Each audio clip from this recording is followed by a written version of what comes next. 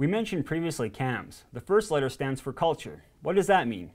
Huge inspiration for DevOps was Agile, and one of Agile's key points is people over process over tools. You can have the most efficient product, development, operations, and marketing teams in the world, but if they do not communicate, there's no feedback or collaboration between teams, it can lead to a huge waste of time and resources. Lean is also a major inspiration for DevOps culture. Lean is centered on streamlining operations, reducing waste with the end goal of maximizing customer value. Improving separate points in the production pipeline is not enough. You have to improve the whole flow. Ever hear the phrase hurry up and wait? It reminds me of traveling on international flights.